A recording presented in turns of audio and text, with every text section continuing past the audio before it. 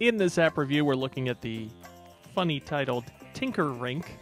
Essentially, with Tinker Rink, you're looking down on an ice rink. Some folks are coming to the ice rink and they want to have fun. And the way they have fun, you pull them out onto the ice and then you can make a path for them to follow and you double tap on them for them to do tricks. So you could, for example, have them spin and that sort of thing.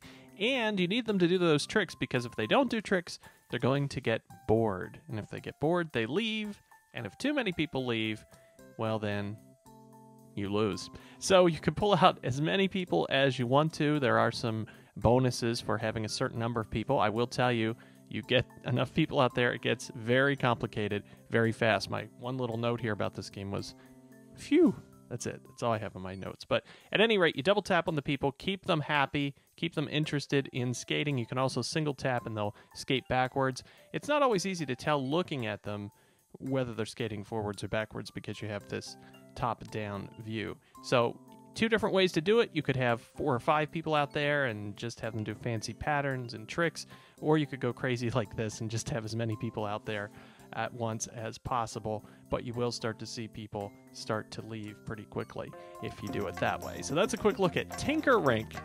There goes someone now. For the iPhone and iPod Touch. For the digitallifestyle.tv, I'm Ryan Ritchey.